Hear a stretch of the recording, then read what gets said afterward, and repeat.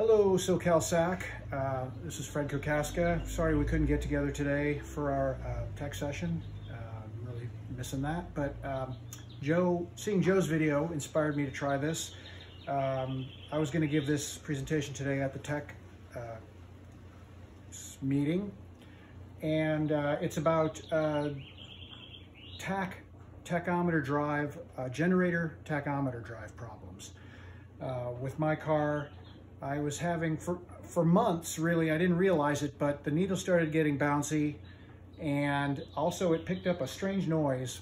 I was convinced that the noise was coming from the tach.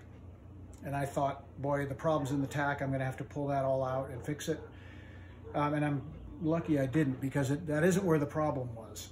Uh, then on a long drive recently, uh, the tach just went dead and it stopped working completely. So I started taking things apart and uh, thought I'd share with you what I found. So um, basically there's three parts of the tach drive you have to check out and eliminate. Uh, there's the drive part that's part of the generator. Then there's the cable that runs into the uh, through the firewall. And then there's the tachometer instrument itself.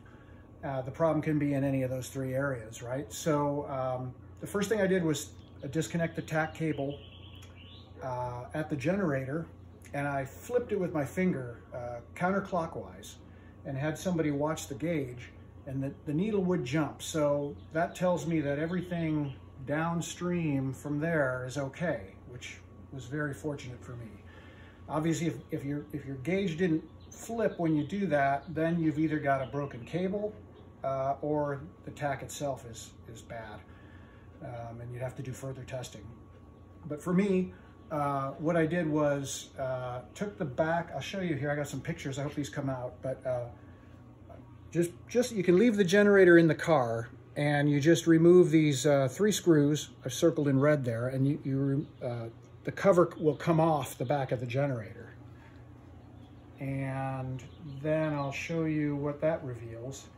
Okay, so that looks like this then, when that cover comes off, and you can see this this gear comes out of the generator. It, en it engages a, another gear, which is actually in the piece that comes off.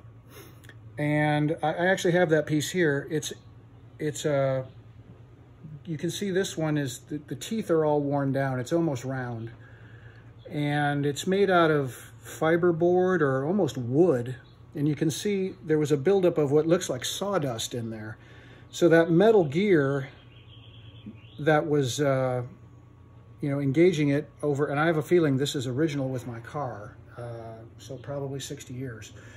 Um, just started grinding, and it, it, like I said, it made a howling sound. Before it failed, it just it must have a vibration that carried through the cable up into the tachometer. Anyway, um, so you pull that off, and then uh, you can take this apart further. That's a reverse threaded nut, and uh, get that out and uh, you can order this replacement part. The new parts are made out of nylon, which will probably last much longer, probably last my lifetime and then some. Um, and you can see the bigger teeth that aren't worn away on that gear. Put it back together and you can see it installed there into the into the hub. Uh, did a light coating of uh, grease on the both gears and on the little bearing there in the back and I reassembled it and uh, that solved my tach problem. The tach now, no, no strange noises. The needle is perfectly smooth, no problems at all. So um, if you're having tach problems, I hope that helps you out. Uh, I'm looking forward to this uh, pandemic being over and we can get out and uh, drive our cars and do our events again, okay? Everybody take care. See you next time.